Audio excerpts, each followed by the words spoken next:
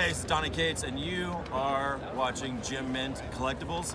And uh, go fuck yourself. I don't know. Yo, what's going on, Geminites? It's your boy Gem Mint back with another Omnibus that double dip video.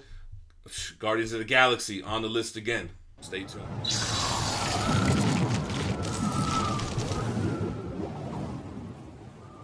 Alright, guys, so right here we have Guardians of the Galaxy by Dan Abnett and Andy Lanning and we have the War of Kings trilogy, Realm of Kings, and, and all that stuff.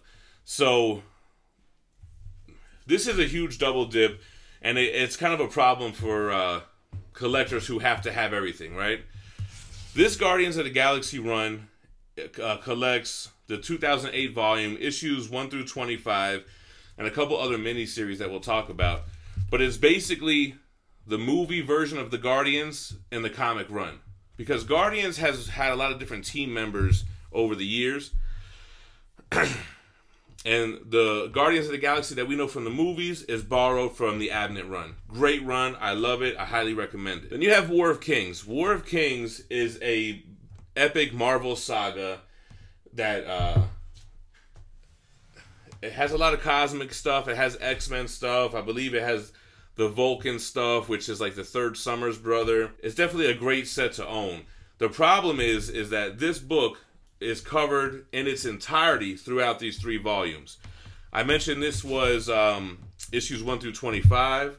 And the first volume, uh, which is The Road to War of Kings, you get issues 1 through 12 from this run. And you get other stuff too. You get Son of M 1 through 6, X Men Deadly Genesis 1 through 6, Silent War, Secret Invasion Inhumans. You get Nova stuff, um, and more.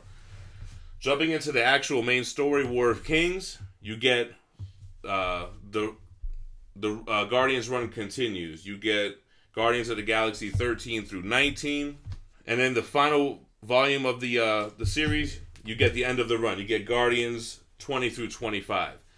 So what do you buy?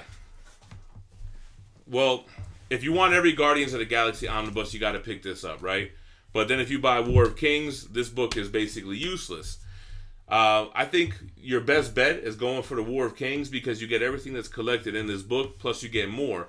You get all these little mini series and tie-ins that tell the bigger picture of what is only being told from the Guardians of the Galaxy perspective in this book. Now, that being said, it's going to cost you more money to get these, and I think some of them are out of print, but I'm talking, I don't know, when it first came out, right?